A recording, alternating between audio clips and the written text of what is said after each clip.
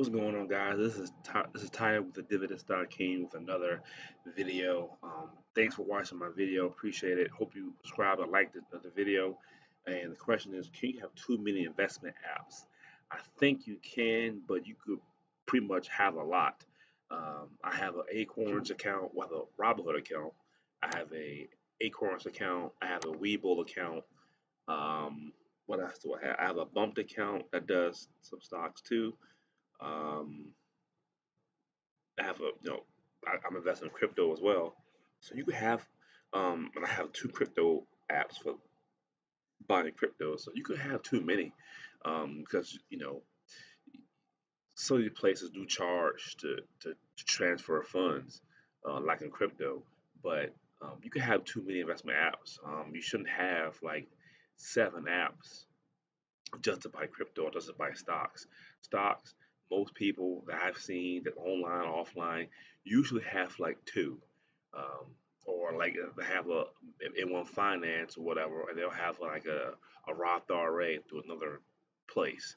Uh, but you shouldn't be having like six different apps to buy stocks. If you're just buying stocks like I am, you'll need but maybe two or three. Um, maybe a Webull and a Robinhood goes really good together because the stocks that you can't buy on Robinhood, you can buy them on Webull so either Outlet and Webull has more information about the stocks, more in detail. People could comment, you could comment, versus Robinhood to get the basic information. So you, all you need is like one or two, like pretty much two. Um, but if you're, you know, I have the stock, I have, a, I have an app called um, Happy Nest, which it does real estate. Uh, you can invest in, uh, and they give you quarterly payments. I haven't been on there much at all because I'm I'm, I'm busy with Acorns, Robinhood, Webull, and my crypto. So I have a lot of time. And then with all these apps, you got to put money into it. So your money's going to six different places. Um, you don't need a lot of apps to invest in. You really don't need it. Um, if you have a stockbroker, you use Robinhood and Webull.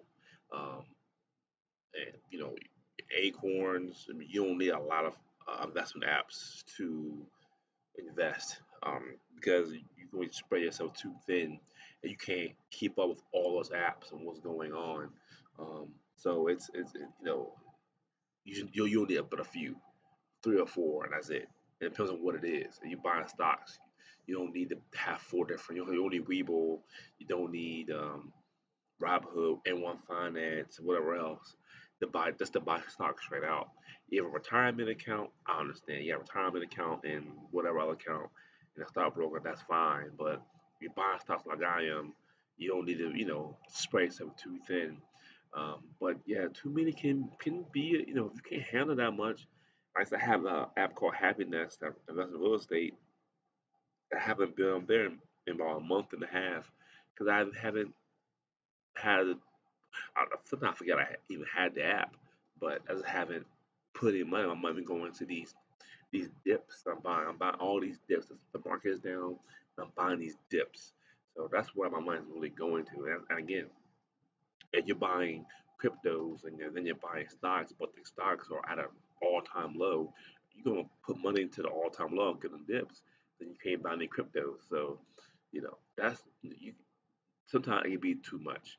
So that's the end of the video. If you want to get Robinhood and Robinhood is down below. It wants us a real estate. I have Happy Nest down below as well. To check out the link down. You'll join that. And if you build an online business from home, I have a link to that as well. So, Thanks for watching.